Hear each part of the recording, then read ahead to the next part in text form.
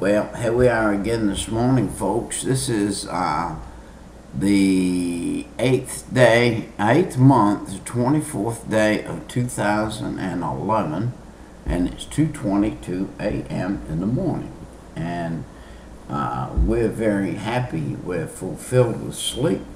We're uh, uh, not tired. We're we're refreshed in the spirit of the Lord, and uh, is uh, have we we we we uh, tried to wreck our bodies? yes, uh, yeah, we tried to kill our bodies, but uh, uh, God has blessed, and we're back home.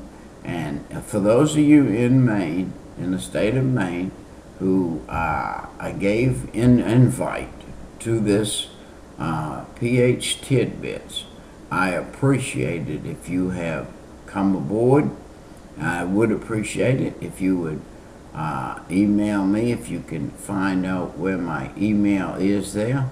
And I can't tell you because I'm, I'm, I'm computer illiterate and I'm just now learning how. And I'm going to today, if Lord willing, and uh, this is Wednesday, I'll take my computer to church with me tonight and have somebody help me get to my emails again and learn how to use this computer. I really do not know how to use it other than to do what I'm doing right here, right now. This is what I know how to do.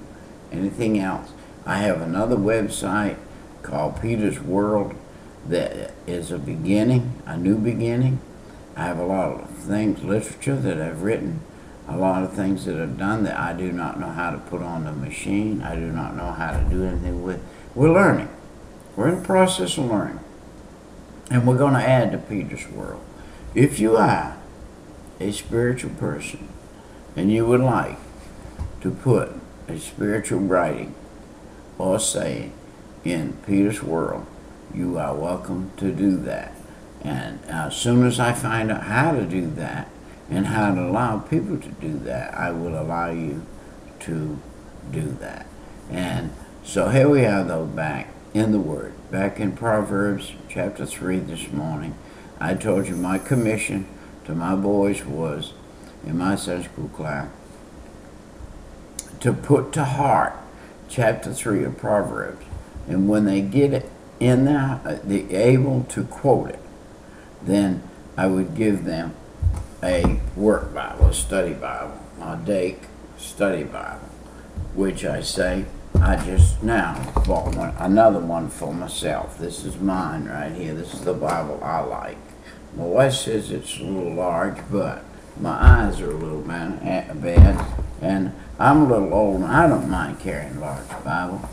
Uh, I'm not ashamed of the Lord, and uh, if I carried a Bible bigger than my body, then I would be fine.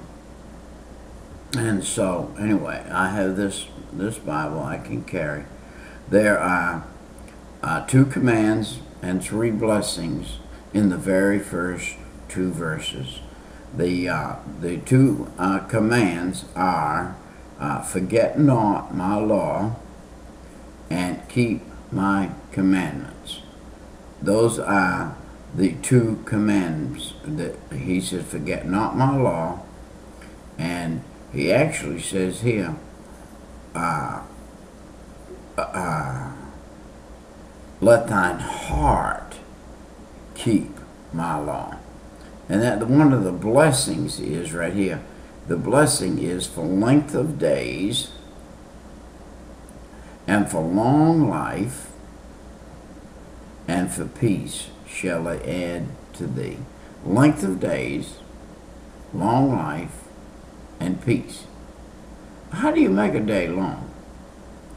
Do you make a day long by getting up in the morning? Early? Does that give you a long day? Yes, it does. Gives you a long day.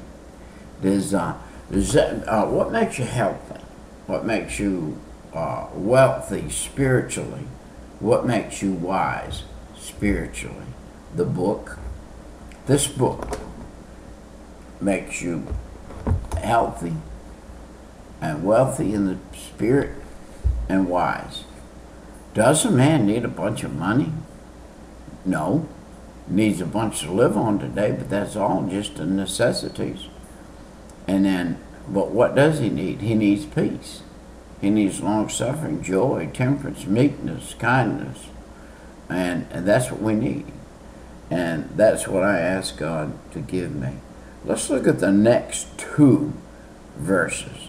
In this day, the next two verses in my book, right here, in the Dake Bible, have a heading over them.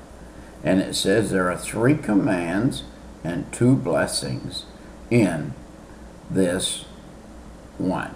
Now, the verse 1 and 2 had two commands and three blessings.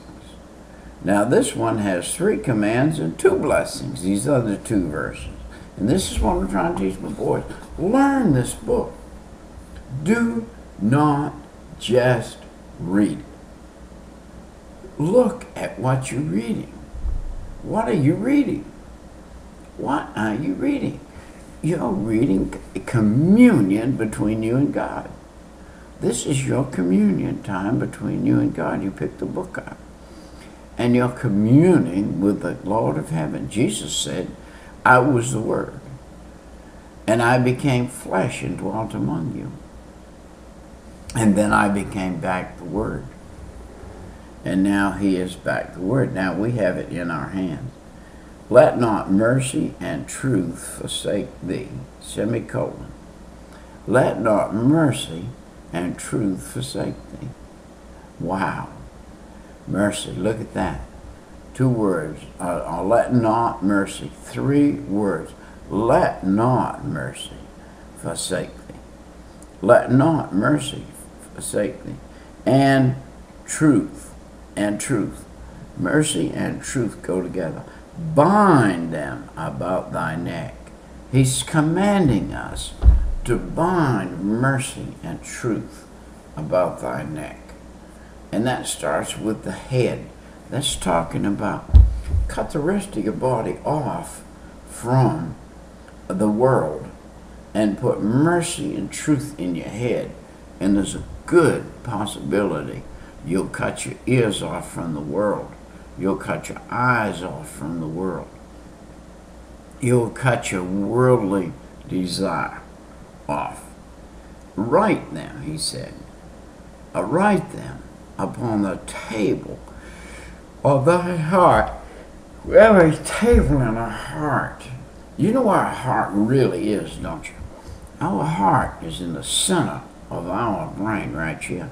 It's called the frontal lobe and it is the thing that contains the heart of man.